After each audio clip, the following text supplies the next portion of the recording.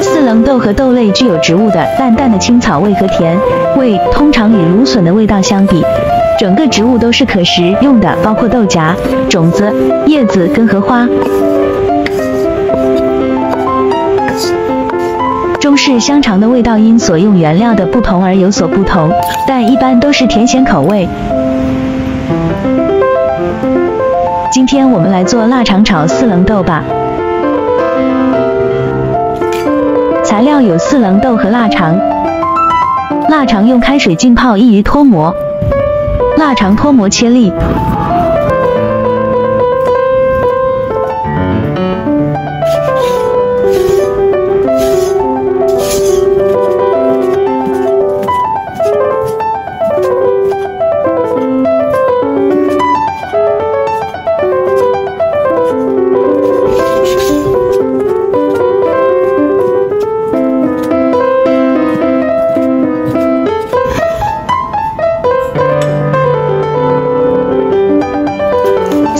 切头尾切粒。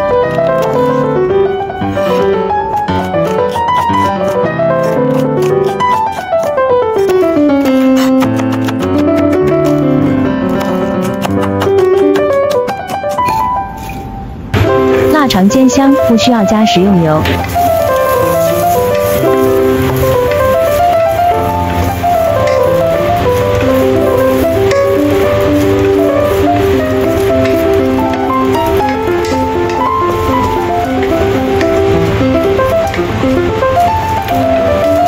下四棱豆一起炒。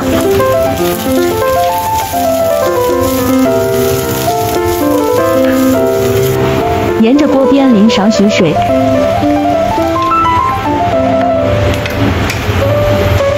加一茶匙鸡粉、半茶匙盐调味炒香。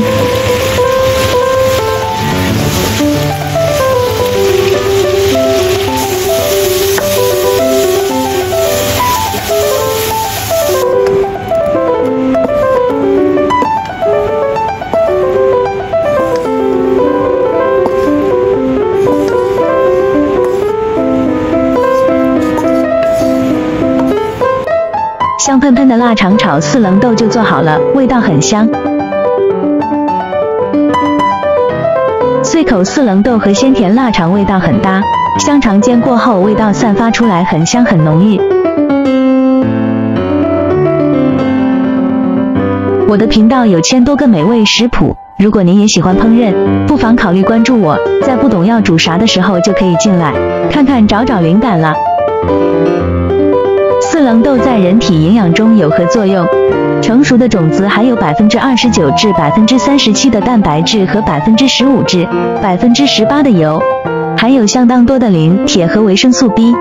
四棱豆的必需氨基酸组成与大豆非常相似，脂肪酸组成与花生非常相似。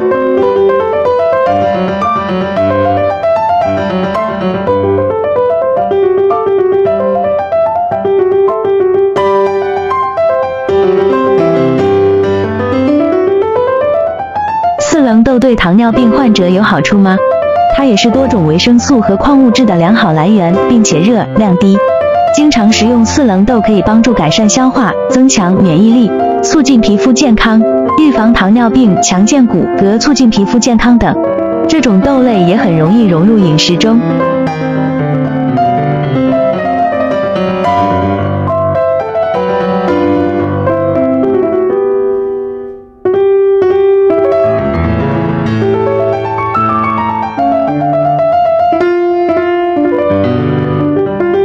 又称腊肠，是一种源自粤菜的腊肠，它由猪肉制成，用米酒、酱油、蜂蜜和香料调味。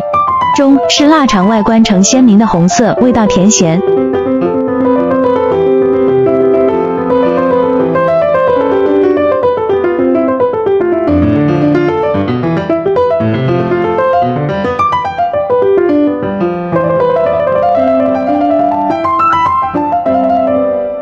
是香肠的烹饪方法，腊肠和允昌的用途与培根相同，既有相同的脂肪和咸味，其烹饪方法相似，可以单独蒸食或少量用作米饭、面条或炒菜的调味料。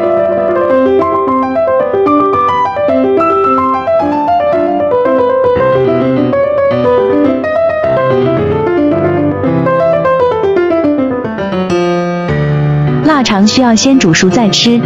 腊肠是粤语，意思是风干的中国香肠，字面意思是腊肠，指的是腊制的外观。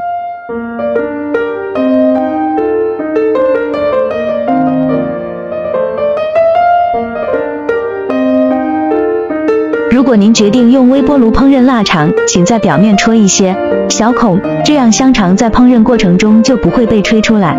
撒一些水以避免过度干燥，建议用中火煮二到三分钟。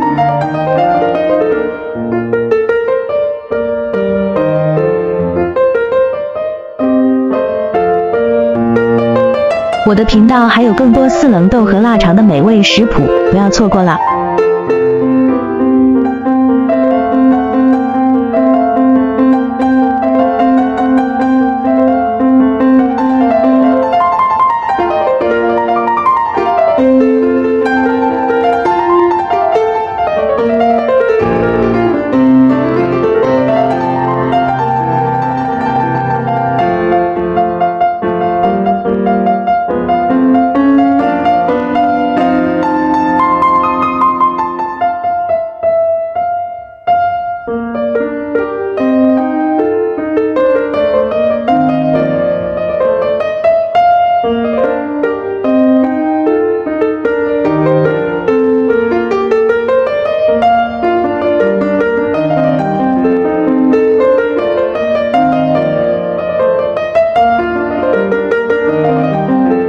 我每天都会分享美味食谱，不要错过了。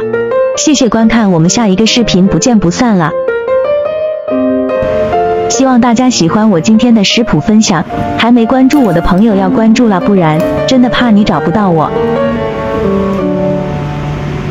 谢谢观看，我们下一个视频再见。